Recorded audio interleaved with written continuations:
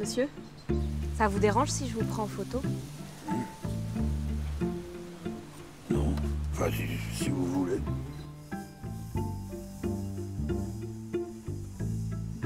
Pourquoi vous m'avez pris en photo, en fait? Oh, je sais pas. Je crois que j'aimais bien votre position. Et la forme de votre ventre aussi.